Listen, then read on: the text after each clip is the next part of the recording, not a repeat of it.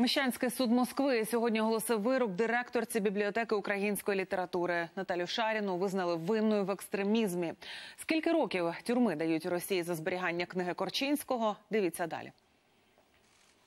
Чотири роки умовно, а останні 19 місяців вона провела під домашнім арештом. Після оголошення вироку колишня директорка бібліотеки української літератури в Москві вперше поговорила з журналістами. Приговор вообще не соответствует действительности.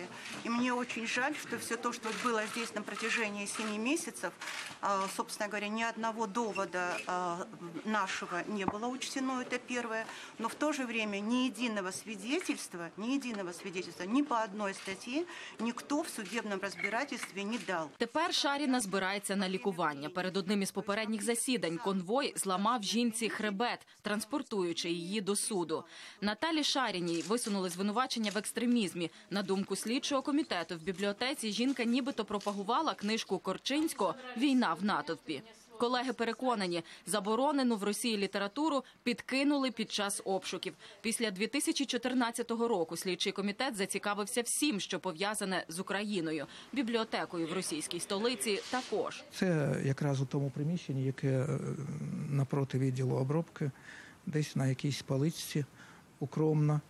От, лежав такий стосик е, книжок невеличкий, е, брошурок. І зверху була, це я сам бачив, я встиг це зафіксувати, коли вони демонстрували. ем, Книжка Дмитра Корчинського, яку я ніколи раніше в бібліотеці не бачив.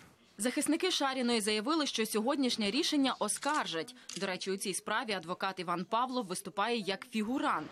Російські слідчі, окрім екстремізму, звинуватили Шаріну ще в розтрачуванні бібліотечних коштів, нібито вона оплатила ними послуги своїх адвокатів. Прокуратура вироком Наталі Шаріної задоволена і оскаржувати його не збирається. Світлана Чернецька, новини, телеканал Інтер.